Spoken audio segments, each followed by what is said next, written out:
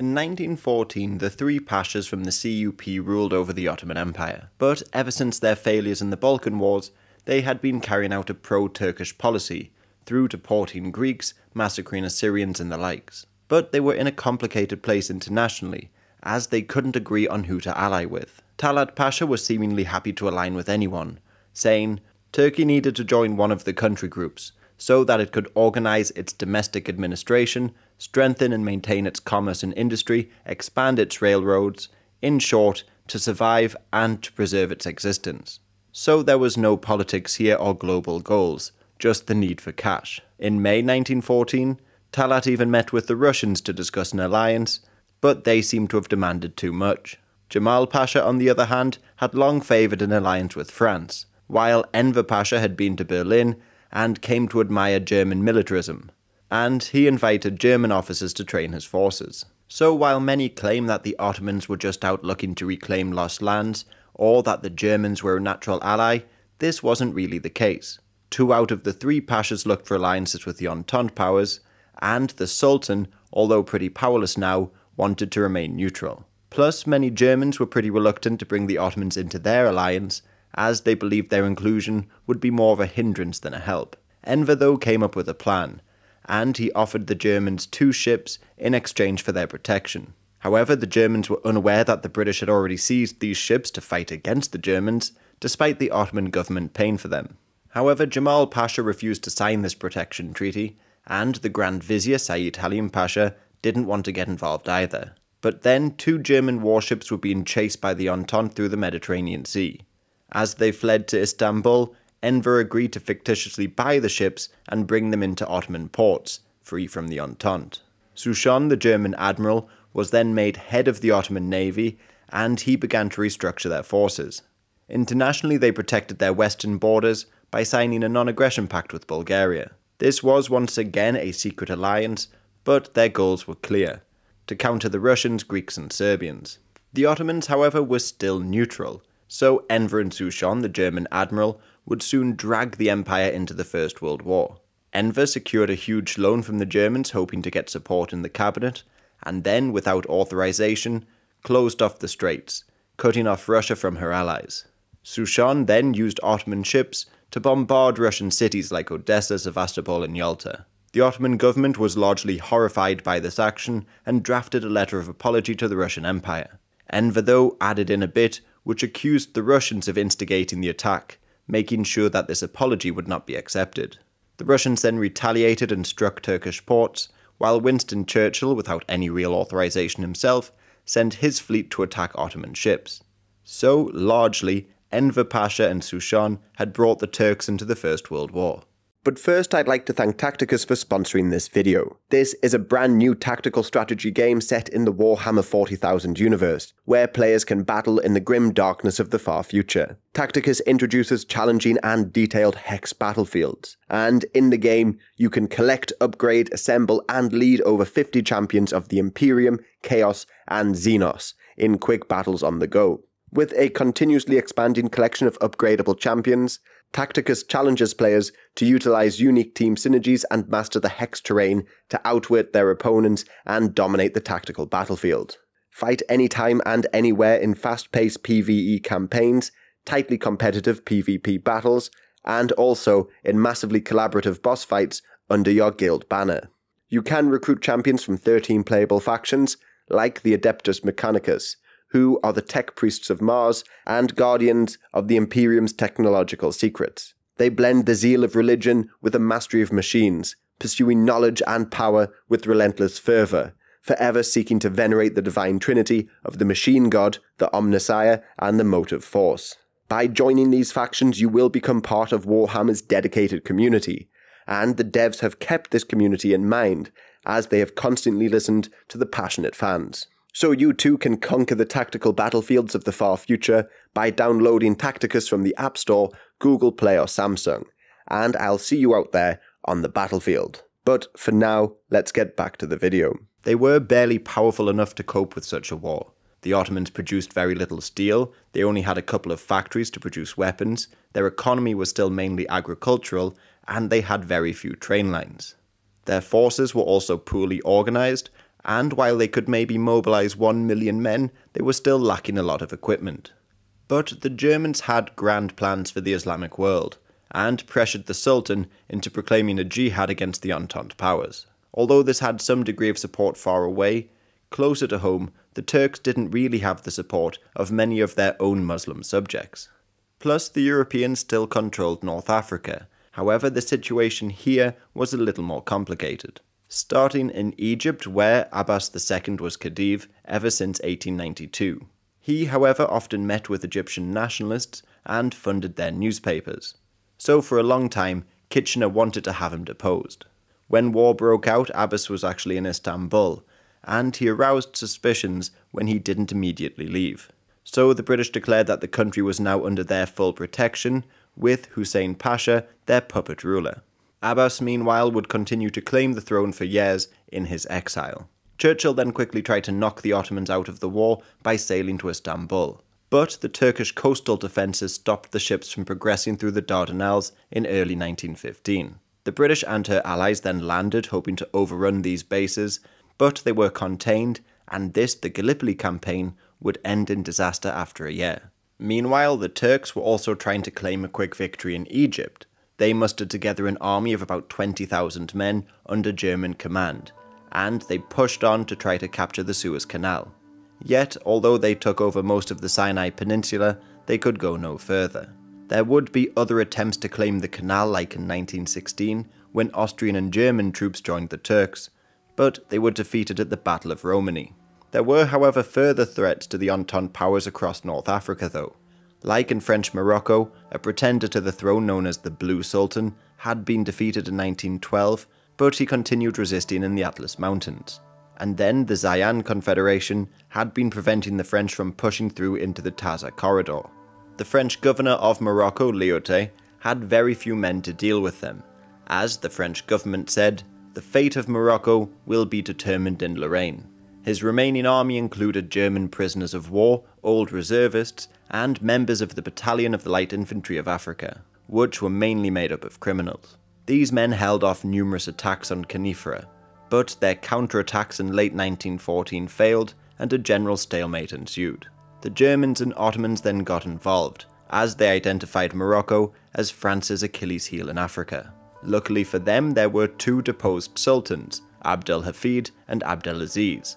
And out of these two, Abdel Hafid was more open to the idea of an alliance and met with the Germans in neutral Spain. He, however, seemed more interested in getting money from both sides, and in the end, refused to be transported to Morocco. So the Germans turned to the Zayan leaders. They were able to do this because many of the French legionnaires were actually German, and they deserted to join the tribes. They helped bring aid to the rebels, while the French again tried to demonstrate their power, this time through the Casablanca Fair of 1915. But very little land really changed hands from here on out. There would be other conflicts in North Africa, like with the Senussis in Italian Libya. For instance, in 1915, at the Battle of Gasser Bu Hadi, the Italians tried to attack a Senussi camp. But there they were ambushed and driven back to the outskirts of Tripoli, leaving the Italians once again stuck to their coastal cities. Later on, the Senussis would also collaborate with the Turks against the Entente as well. But there would be far more action over in Mesopotamia. Nearby, the British had already been extracting oil, and they relied on pipes running through Iraq out into the Persian Gulf. So the British in India quickly sent troops to Fao and received support from Mubarak in Kuwait, who joined in their assault on Basra. This battle was barely comparable to the rest of the war, though, as 500 British troops easily attacked the city and took it from a garrison of around 1,500 men. The British then drove back counterattacks and began looking to expand further. Inside Iraq, most of the population were being pulled by the different sides. Like Suleiman Askari, the Circassian founder of the paramilitary group known as the Special Organization, was trying to promote the Ottoman cause. However, he would later kill himself in 1915 after further defeats. Otherwise, the Shia of Iraq were a potential ally for both sides. They had long received money from the British and disliked the Ottoman centralization efforts. But German officers, alongside Ahmad Khan Qajar, arrived in the holy city of Karbala to declare jihad on the Western powers. The religious leaders of the city also promised to address the Shah of Persia, trying to encourage him to join in the war. However, this came to nothing. But the Germans did have hope in Persia, as the Ayatollah al-Yazdi had been trying to encourage uprisings against the Europeans ever since the Italians took over Libya. And now, after hearing the call to jihad, he called on the people to defend Islamic territories. So the Shia tribes who had long fought against the Turks joined to fight alongside them and they put together a Mujahideen force. Many in this force, however, were just in it for the loot. Others often lied about the numbers of men they had to receive more aid, and the distribution of funds often caused fights to break out and men returned home by 1915. The Turks also continued to make more enemies, like one Turkish commander named Ahmad Bey Orak called the Iraqi tribesmen traitors. Sheikh al-Rumid of the Bani Malik responded saying, You are the traitors of Islam, and your discrimination against the Arabs is crystal clear. The British, though, after securing Basra, largely ignored Mesopotamia as they were more focused on Gallipoli. Some prominent people like Gertrude Bell had worked for the Arab Bureau alongside the tribes, but their actions were often challenged by the government in India, which wanted control over the region and were worried about encouraging separatist rebellions. So prominent separatists like al-Naqib, who tried to become the ruler of Basra before the war, were deported to India. Other potential allies early on included al-Mizri, a former Ottoman officer and founder of the Al-Ahd secret society, which called for the independence of Iraq. From his exile in Cairo, he hoped to secure British weapons to start a rebellion, but again, nothing came of it. Then there was Muhammad Sharif al-Faruqi, who defected to the British after being captured by them in Gallipoli. But I'll get onto him later though, as he may have been one of the most influential characters in Middle Eastern history, despite being a fraud. After the Gallipoli campaign failed though, the British began to look at finally creating alliances with the Arabs. Their troops also moved north, as in July 1915 they reached Nasiriyah, the central base of the Al-Muntafiq. The other cities of Iraq were quickly filling with Ottoman deserters, and the number of deserters was pretty staggering. As General Liman von Sanders said, Today the number of Turkish deserters is higher than the numbers of soldiers actually in the army. These deserters and returning Mujahideen then rose up in Karbala against Ottoman rule. Although they weren't necessarily in favour of the British, they hampered the Ottoman war efforts and provided sanctuary to thousands of other deserters. As the British advanced, Ayatollah al-Yazdi began to step away from calls of jihad, and the Ottomans realised that their Mujahideen force was more of a hindrance, so they stopped arming the tribes. Out in the countryside, Edmund Candler wrote, Anarchy is normal. There is no village that is not a battlefield. Every sheikh is against his neighbour, brother against brother, and there is no loyalty within the community. So, in Iraq, there was no strong ally for either side. Like, the British were able to create a Muntafiq division out of a few dozen men from around Nasiriyah. And there were the odd local allies, like Sheikh Ibrahim of Al Zubayr next to Basra. Or, even in northern Arabia, the Ottomans had an ally in Jabal Shammar. But within this tribe there was a branch known as Aslam, and in this branch Dawi ibn Tawala would later join the British.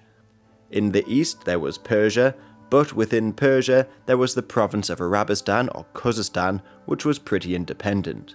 There Sheikh Khazal ibn Jabir was making a great deal of money from British oil, and he remained loyal to them throughout the war. In fact, Percy Cox even offered him the throne of Kuwait in return for his loyalty. But he was a close friend of Mubarak, the leader of Kuwait, and refused. Also, because he stayed out of the war, he therefore rejected the call to jihad. So many people called him a traitor, and they rebelled in February 1915. Over in Kuwait, Shia clerics continued to try to push Mubarak to join in with the jihad. He actually criticized the most prominent leaders, like Muhammad al-Shankiti and Hafiz Wahba. He said that his dealings with Britain were beneficial, despite the fact I don't like the British and acknowledge that their religion is very different from mine. He then called on Kuwaitis to help his friend in Arabistan and crush the rebels. But many of his soldiers refused to take part, saying, We cannot obey that which angers Allah, and they joined in the fight against the British. The British, though, continued to advance onto Kut, forcing the Ottomans to finally realise their mistake in ignoring Mesopotamia. They sent a German Colmar von der Goltz to stop further British advances onto Baghdad, and they even drove the British out of Kut in late 1915. This siege was one of the most disastrous events for Britain during the war. As historian Jan Morris described it, the most abject capitulation in Britain's military history. This is because the relief force was so poorly organised that they were killed arriving at the Turkish lines in their thousands. Then 10,000 prisoners were taken when the city surrendered, and most of these died on their marches through the deserts or within the camps. In prison, though, some of the Indian Muslims would join the German cause eventually. This defeat did stop the British for a while, yet the Ottomans continued to direct much of their attention to the Caucasus. Here they faced the real risk of Russian expansion. After all, the Russian Foreign Minister Sergei Sazonov announced very early on that they wanted Istanbul and most of the surrounding lands. He even specified that he intended to repopulate this land with loyal Cossacks. Plus, the Ottomans also wanted to expand into the Caucasus and beyond, uniting with the Turks of Central Asia. But the Russians were still occupying Tabriz in Persia, and at the Battle of Sarikamish in late 1914, the Ottomans were devastated in the Caucasus campaign, losing up to 60,000 men. Unable to accept responsibility for such a defeat, the CUP, especially Enver Pasha, began to publicly blame the Armenians for supporting the Russians. Many of the retreating Turkish soldiers then began to massacre the Armenians. The governor of Van, Cevdet Bey, ordered that all of the Armenians hand over their arms, and Jamal Pasha proposed deporting them far from the front line. On the other side of the border, Tsar Nicholas, alongside the head of the Armenian church, said Armenians from all countries are hurrying to enter the ranks of the glorious Russian army, and with their blood to serve the victory of the Russian army. Let the Russian flag wave freely over the Dardanelles and the Bosphorus. Let your will the peoples remaining under the Turkish yoke receive freedom. The Tsar also promised to give them autonomy, however, they shouldn't be seen as just defending the Armenians. As in 1896 Count Lobanov Rostovsky said, we need Armenia but without the Armenians, harkening back to the rhetoric of the Circassian genocide. So both the Russians and the Turks were calling on the Armenians to incite rebellions across the border, leaving them stuck in the middle. And Turkish paranoia grew when reports indicated that Armenians were moving weapons around and preparing to help the Russians. And if they did this, the Persian campaign would be jeopardized. So we first need to look at this the Persian campaign. This began when Enver Pasha moved into Persia despite their neutrality, in order to attack the Russians in Tabriz. From here, in his own words to his soldiers, your duty is to move with your division towards Persia and proceed through Tabriz to Dagestan, where you will ignite a general rebellion and repulse the Russians from the shores of the Caspian Sea. So, this would be the first move in the creation of a pan Turkic state. The Turkish troops would be supported by Germans like Wilhelm Wassmuss, who would be called the German Lawrence. He would move around Persia trying to start rebellions against the British and the Russians in the country. So keep his name in mind for later on, as he will gain the support of many tribes in Persia. Meanwhile, the actual Persian army was still languishing behind the rest of the world. They still relied on tribesmen to defend different provinces, but many of these tribesmen would just join foreign powers. And their most professional army was the Persian Cossacks. However, they were under the command of Russians. So the Ottomans moved in quite freely in early 1915. And there they found that most of the Russians in Tabriz had already left to defend their own borders. However, when the city fell, the Russians quickly countered and, in a couple of months, drove the Ottomans back out of Persia. Back in Armenian lands, though, the massacres continued. Like Cevdet Bey, earned the nickname Lord Blacksmith, for nailing horseshoes to people's feet. Therefore, when he demanded that Armenians and Assyrians send conscripts into his army, the people of Van refused and they prepared for war. As Jevdet's forces marched on the city, Talat Bey issued his order on the 24th of April to arrest all Armenian political leaders and intellectuals. From Istanbul to the Caucasus, they were rounded up and deported or killed. However, they would go even further. As Talat Pasha reported to the Germans, one who was still innocent today could be guilty tomorrow. Our actions were determined by national and historical necessity. I should say there will at this point be many atrocities committed against the Greeks in Anatolia at this time, but I'll describe them in more details later on. Jevdet meanwhile laid siege to Van and began allowing refugees from the countryside to enter the city, tens of thousands of them, putting a strain on the resources. The besieged Armenians under Aram Manoukian formed a pretty effective local government, and they began manufacturing bullets and sent messages to Russia asking for assistance.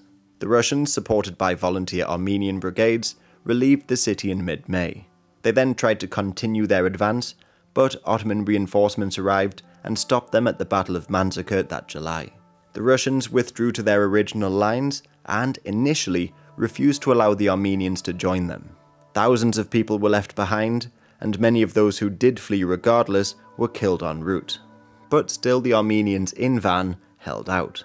Out in the countryside, Jevdet continued to sack Christian villages, while another Turkish army advanced on the city. Jamal Pasha and Talat Pasha then ordered that all Armenians be deported from their homes, even those living in Adrianople, west of Istanbul. In their place, the Directorate for the Settlement of Tribes and Immigrants began to work on filling up the vacant lands and homes with Muslims, creating a new loyal population in their eastern provinces. As for the Armenians, they were marched out in deportation convoys, where they were attacked by bandits, local militias, tribesmen, and soldiers in the Third Army. The perpetrators came from many different backgrounds, like Turks, Chechen, Circassians, and Kurds. Some were just after loot, others were encouraged by imams who began preaching violence against Christians. The Turkish officials that refused to take part, like Mehmed Chelal Bey, were stripped of their positions, and anyone found harbouring Armenians would also be persecuted. So the Armenians were going on death marches. Able bodied men were often separated from the rest of the groups, on their way, they would arrive at transit camps where many would be killed. Some were shot and dumped into rivers. There are reports of many being tied together and thrown into the rivers. But there were now so many bodies that sections began to block up, and explosives were needed to clear it. Many did fight back. Like in Urfa, the people rose up, rather than willingly march out into the desert. And some were able to survive by converting to Islam. These were called the Vorpa Havak, and there were maybe around 200,000 of them. However, many people in this situation were often brought into households as slaves almost, where they would be assaulted or forced to do work by Turkish, Arab, or Kurdish families that brought them in. Elsewhere, some prominent Turkish nationalists like Halide Edip played a role in schooling orphans. However, in these schools, the children were Turkified. As one American Red Cross worker reported, not a word of Armenian or Kurdish was allowed. The teachers and overseers were carefully trained to impress Turkish ideas and customs upon the lives of the children and to catechize them regularly on the prestige of the Turkish race. Some that did make it as far away as Damascus were sold openly in markets, and were transported as far away as Arabia or Tunisia. So their final destination should have been the Levant, but there nearly one million of them were forced into camps in Ras Al Ain and Deir Zor. Here again, they would be subjected to assaults, many would be sold as slaves again, and some were even forced to work in the war effort. But by 1916, still half a million survived. So another wave of massacres would be ordered by Talat Pasha, which killed 200,000 that year. In total, maybe a million or so were killed in death marches, the camps, massacres, and the likes. However, whether or not this is a genocide has been disputed. Erdogan, for instance, the leader of Turkey today, argued that no Muslim could perpetrate a genocide. Others often claim that this was merely a horror or disaster committed in times of war. Like after the war, Ataturk said, Whatever has befallen the non Muslim elements living in our country is the result of the policies of separatism they pursued in a savage manner. In fact, calling it a genocide in Turkey is a punishable offence as it insults Turkishness. Turkish historian Taner Akçam explains this denial saying, It's not easy for a nation to call its founding fathers murderers and thieves. So they even have pages on their embassy websites dedicated to proving that it was not a genocide. For instance, fact 2, Armenian losses were few in comparison to the over 2.5 million Muslim dead from the same period. This is in fact true, as many Muslims were killed after the Balkan Wars and during the First World War But then again, German losses were greater than Jewish losses in World War II, so genocides can hardly ever be attributed to just the number of dead. Or fact 3, certain oft cited Armenian evidence is of diminished value, having been derived from dubious and prejudicial sources. But many of their allies also reported atrocities. Like German ambassador Wolf Metternich said, in its attempt to carry out its purpose to resolve the Armenian question by the destruction of the Armenian race, the Turkish government has refused to be deterred neither by our representations nor by those of the American embassy. Or there was the Venezuelan mercenary Rafael de Nogales, who reported that the governor, Mehmed Resid, received orders from the central government to burn, destroy, kill. Or Armin Wegner, a German soldier, who said, like a wild beast, the Turkish soldiers, officers, and gendarmes swept down on this welcome prey. All the crimes that had ever been committed against women were committed here. They cut off their breasts, mutilated their limbs, and their corpses lay naked, defiled, and blackened by the heat on the fields.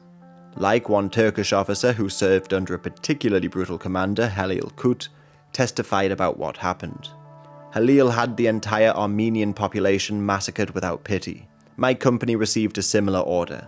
Many of the victims were buried alive in especially prepared ditches. So many countries are beginning to accept that it was a genocide, however, it's still debated. Nobody argues that crimes were not committed, but whether or not the Turks were trying to truly exterminate the Armenian population. While all of this was going on, the Assyrians continued to be killed. At the beginning of the war, the Russians quickly captured Bashkale, however, when they were driven back, the Assyrians in that area were massacred.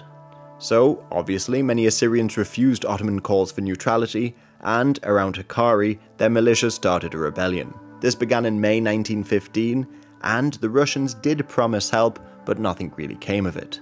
So Talat Pasha gave the order we should not let them return to their homelands, and the Ottomans began to encircle their highlands. Many managed to escape across the border into Persia and organize themselves into a fighting force to help the Russian army. The Russians then promised Aga Petros that they would be given an independent state once the war was over. The Ottomans, though, then began to launch attacks into Persia, killing up to 20,000 Christians that had settled there.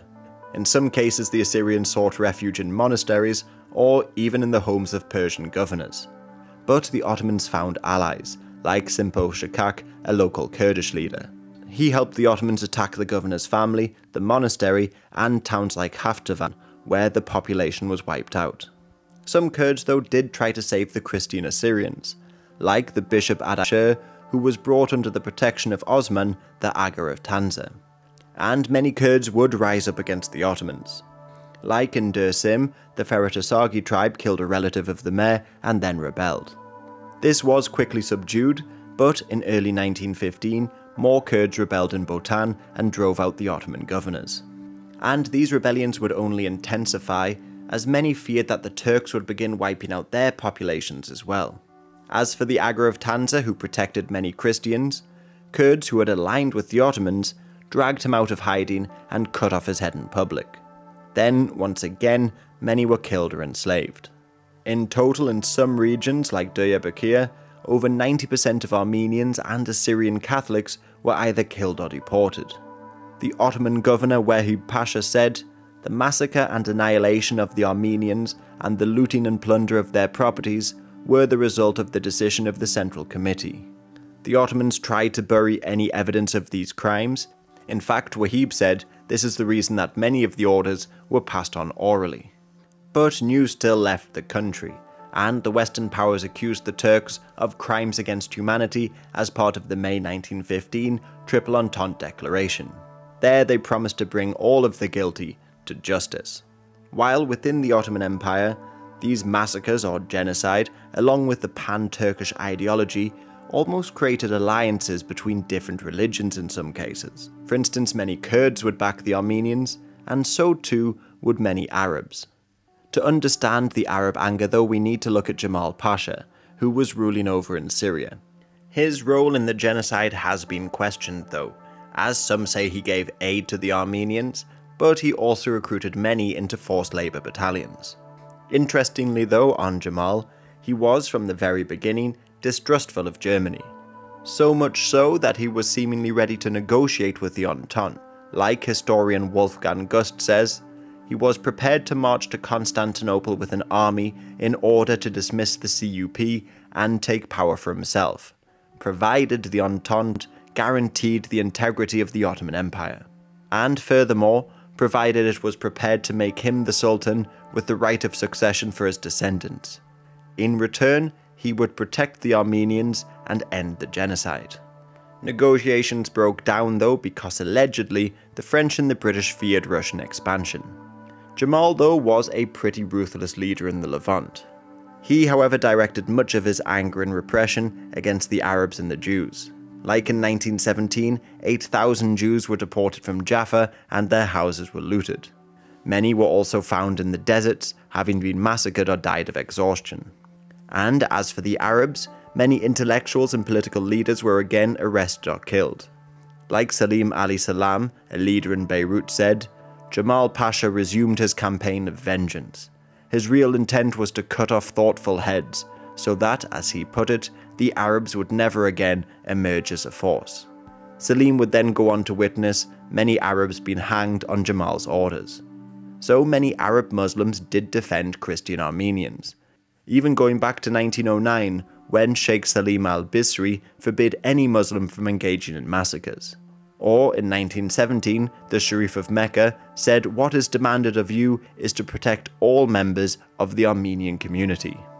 This would be particularly important as the Sharif of Mecca and his sons were already incredibly wary of the Young Turks.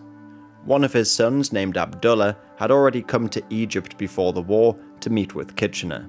There he discussed the possibility of British support for a rebellion, worried that the Hejaz railway line would bring Turkish influence south. Then, as tensions rose in the Levant, the Arab societies like Al Fatat approached another son of the Sharif named Faisal. They hoped that he would lead a rebellion and unite Arab lands south of the 37th parallel. This was all part of the Damascus Protocol of May 1915. Plus, the Sharif and his family were growing more worried of Ottoman rule as they discovered a plot to replace them. Yet still, Faisal in particular believed he needed the support of a great power. Kitchener, back in 1914, had already promised to guarantee the independence, rights, and privileges of the Sharifate against all external foreign aggression, in particular that of the Ottomans. Then, when Faisal returned to Mecca, they began to correspond with Sir Henry McMahon. Hussein, the Sharif of Mecca, first asked for recognition of his claims below the 37th parallel. But McMahon responded, the two districts of Mersina and Alexandretta and portions of Syria cannot be said to be purely Arab. Yet he offered his support elsewhere if it isn't a detriment to the interests of her ally France. Hussein then gave up on claiming Mersin and Adana, and as for Iraq, he said, We might agree to leave under British troops against a suitable sum paid as compensation to the Arab kingdom for the period of occupation.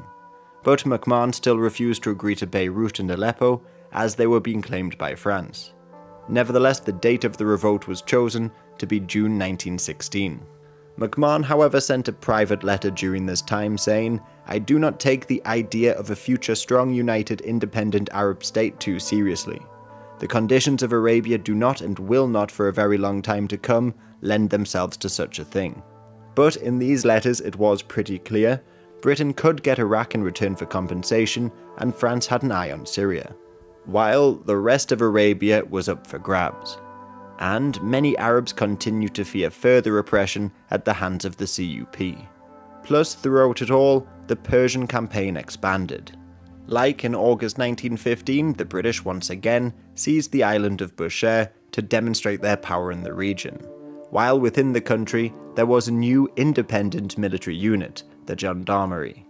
This was actually proposed by an American and put under the command of a Swede called Harold Hjalmarson. So now the Russians controlled the Cossacks and a Swede controlled the Gendarmerie. Well, within the Gendarmerie, many of the officers were sympathetic to the Central Powers, or at least they were opposed to the Russians and British. They just began to act independently, like Colonel Pessian, began attacking pro Russian Cossack brigades in Hamadan in November 1915. But the situation was truly far more complicated than just this. The country was still predominantly tribal, and each tribe backed a different major power. As Arnold Wilson wrote, life for the tribesmen was hard and getting harder.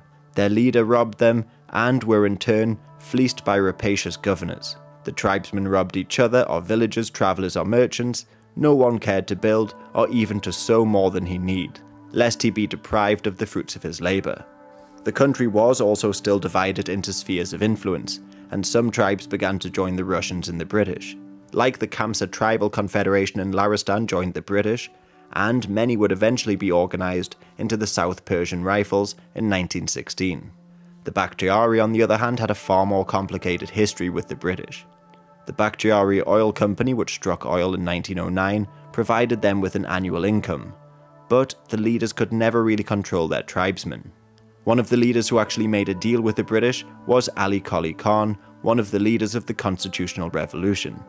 Yet his sister Bibi Mariam was vehemently opposed to the British and Russians and led troops during the war. As for the Germans, on the other hand, they could bank on the support of the Kashkai. They had been in communication with Wassmuss, the German Lawrence, and fought many small battles against the British and their allies in the south.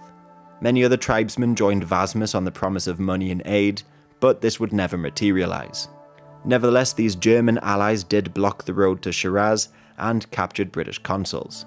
In Bushehr, Wassmuss found an ally in Rais Ali Delvari. He led his Tangistani tribes in attacking the British, but they were fought back. Other German agents were also working elsewhere.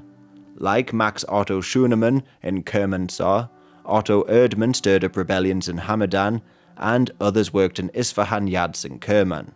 All of these essentially turned towns against the Entente. Others, like Count Kanitz, worked in Tehran, while Wippert von Blücher worked in the west, trying to stir up rebellions among the Kurdish Kalor tribe.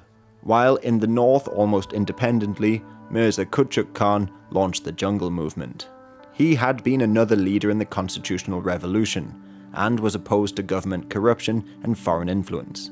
But people disagree on whether this was a separatist movement, or maybe later, even a communist one. In short, though, the Germans were turning towns and tribes into bases of support for them. The Russians still had the Cossack Brigade under their control, and the backing of the Armenians and Assyrians in the north. The British occupied the south and had allies there. The gendarmerie under Colonel Pessian was attacking the Persian Cossack Brigade, and other autonomous groups fought for all sorts of things. In the middle of it all in Tehran, there was a constant shift in prime ministers. By 1915, though, Mostofi al-Mamalek was now prime minister, having served numerous times before. He was desperately trying to maintain Persia's neutrality by remaining close to the British and diplomatically trying to get the Russians to leave. But the Russians feared a further spread of rebellions and decided to act. In late 1915, their army of the Caucasus marched south. The German prince Heinrich Reuss tried to rally together an army of tribesmen, Kurds, and gendarmerie, but it failed. They fled the capital and set up a new provincial government, while the Shah stayed put, and Abdul Hussein Mirza Farmanfarma became the new prime minister he remained far more pro-British than his predecessor, often just in exchange for loans. In the place of the now disbanded gendarmerie, Percy Sykes created the South Persian Rifles. This should have only been a police force, but it truly acted more like an army. The Russians then continued on their advance south. In early 1916 they took Hamadan, then Kermanshah, and they were planning on striking at Baghdad, but they stopped. This, however, finally drove a wedge in between the Ottomans and the Persians, and they were able to defeat the remaining gendarmerie late in the year. The Germans, however, had long been eyeing up the possibility of bringing Persia into the war from the very beginning. They had, after all, pressured the Sultan into declaring a jihad and had huge ambitions across the world. But to try and unravel all of this, we need to look at Max von Oppenheim. He was an archaeologist who spent many years in the Middle East, and he became head of the new Intelligence Bureau of the East. He was fortunate as many Muslims had come to believe that the Kaiser had secretly converted after his trip to Jerusalem. So many actually called him Haji Wilhelm. Oppenheimer's organization was actually already busy at work trying to form alliances with Muslims around the world from the very beginning of the war. In fact, there's actually reports that he met with Faisal, the son of the Sharif of Mecca, and tried to convert him over to the German side early in 1915. And it's even alleged that he gave speeches encouraging the massacre of Armenians. The Bureau, however, went much further and looked at starting rebellions across the colonised world. Although the British would call this the Hindu German conspiracy, much of it was aimed at Muslims. There were Hindus involved, though, like the Ghadar Party, who in exile began to plot against the British by sending weapons to rebels in India. But the Ghadar Party had far more followers in immigrant communities in North America, Malaysia, and the likes. So von Papen planned on buying weapons in America and shipping them undercover over to Asia.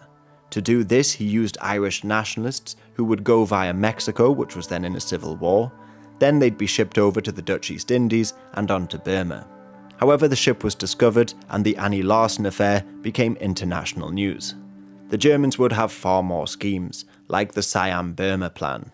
This would see weapons brought into Siam, then sent to Burma, and there the people would rise up in December 1915 but again, information was leaked and nothing came of it.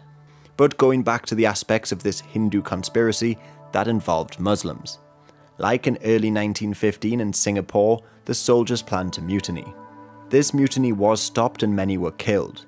But although the British tried to downplay the connection, it seems that many of the mutineers were Muslims, and many of those were drummed up into supporting the call for jihad. There was also the Berlin Committee, this group of Indian nationalists had members inside of Syria, Egypt, and Baghdad, all hoping to infiltrate the Indian forces fighting for the British. Then they planned on assassinating British officers and forcing the British out of Asia. In fact, the British Mesopotamian campaign was partly just to demonstrate British strength in the region, as if they had been absent from the Middle East and Asia, there would be a strong likelihood that India and the likes would have fallen. The Berlin Committee also began to recruit prisoners of war to form an Indian Legion. One of the leaders was a Muslim named Amba Prasad, and he tried to recruit people from across the Middle East. He actually took some troops across Persia and captured the border town of Karman. They then began to harass the British, prompting some Muslim leaders to declare their independence, like the Baluchi chief of Bampur and tribes like the Mari and Ketran, who also began to launch raids. But when the Russians and later the British expanded their control in Persia and Iraq, their supply lines were cut and they retreated to Shiraz. Plus, many of these groups had connections to Germany prior to the war, like Sardar Ajit Singh, who was trying to whip up Islamic support against Britain in 1909 from his exile in Persia. However, many of their plans to topple British India relied on uniting the Turks, Persians, and Afghans and then invading the country. And to this end, the Germans dispatched the Niedermeyer Hentig expedition to Afghanistan. This, however, also overlapped with yet another movement, known as the Silk Letter Movement. This began when Mahmud Hassan Deobandi travelled to Hejaz to meet the Turkish governor of the province, Galip Pasha. He wanted to make sure that any Deobandi insurrection against the British would receive Turkish and German support. He then received guarantees on three silk letters. Meanwhile, one Deobandi leader did make it to Kabul. Their plan was to create an Islamic army in the holy cities and then an Indian army in Kabul, and together they would liberate India. But news once again leaked, and many members of the Silk Letter movement were arrested. Mahmud himself would be arrested by the Sharif of Mecca when he joined the British camp. In Turkey, Enver Pasha was particularly keen on all of these plans so he wanted to help out the Niedermeyer Hentig expedition and sent troops to guard them through the Middle East. The expedition leaders also found an ally to serve as a figurehead, known as Mahendra Pratap. He was an Indian nobleman and member of the Berlin Committee. He would be joined by German officers and a collection of Islamic scholars, Afghans, Turkish officers, and Indian nationalists, many of which were Hindu and some were Muslim. They proceeded through Turkey to Persia, being aided by many of their allies but the British were made aware of their actions and created the Sistan force to try and stop them from entering Afghanistan. This, however, was unsuccessful, and by October they arrived in Kabul to meet Habibullah Khan. He was provided with many gifts, the Sultan's declaration of jihad on paper, and many promises. The Kaiser even promised that, if he was to join their cause, he would receive Russian and British lands, stretching from Barbet to Samarkand but the emir was still more pro British than they anticipated. There were others in his court who were more open to the idea of an alliance, like Nasrullah Khan, his brother, who was far more religious. And even the Emir's youngest son, Amanullah, was also a potential ally. The Emir, though, didn't believe the German promises. After all, he depended on British money and was trapped between rival nations. So, in the city, the expedition leaders tried to win over the princes and the people, offering money, building hospitals, and Khalim Pasha spoke to the Turkic tribesmen about pan Turkish plans. The Indian members even created their own provincial government late in the year. Eventually, the emir did agree to a treaty of friendship, and said if 20,000 troops arrived, he would invade India. Many in his court then called for a declaration of jihad, but nothing happened. And as he grew suspicious of his own pro German family members, he began to add on further conditions, like he required the Indians to rise up first as well. So the expedition leaders left, once again evading the British. Mahendra Pratap was now left alone in Kabul, wanting to invade India. He would eventually even turn to Bolshevik Russia for an alliance, but nothing ever came of this. The British then decided to change tactics in Afghanistan, assuring the emir of his neutrality and displaying their planes and military hardware to tribal chiefs to demonstrate their power. But the Germans still didn't stop. They had other plans like the Half Moon Camp. Here they recruited 4,000 or so prisoners of war and trained them to fight in the jihad against the Entente powers. However, von Oppenheim could never really build a real army, and even its propaganda benefits were limited. The Entente, on the other hand, still had huge numbers of Muslim volunteers in their armies, like 47,000 Tunisians, 140,000 Algerians, and 25,000 Moroccans fought for the French. As for Britain, 400,000 Indian Muslims joined their ranks. So the Germans began to look for other ways to encourage uprisings and in other places like in Italian Libya, which I'll get onto later, but also far away in Oman. Here, Sultan Timur ruled over a divided country propped up by the British. But his rule only extended along the coast, and the British had forced him to end the slave trade and clamp down on gun runners. These runners had long made money bringing weapons from Oman's colony around Gwadar, which they owned for decades. So many were now deprived of this income, and those in the interior believed that this was a challenge to their power and autonomy. They therefore elected their own Imam once again. This time it was Salim bin Rashid al Karusi, and he led attacks on the British garrison in Muscat in 1914 and early 1915. The British tried to persuade the Sultan to make concessions in order to make peace, like some sort of implementation of Sharia law but this was rejected, and many Indian defenders continued to fight off the rebels. Then, in 1915, German agents began to arrive in Oman, and the idea spread that the German Kaiser was Muslim. The rebels, convinced that the Kaiser would win the war, refused to surrender, and the situation remained a stalemate until long after the war had ended. And finally, nearby in Yemen, the situation continued to be complicated.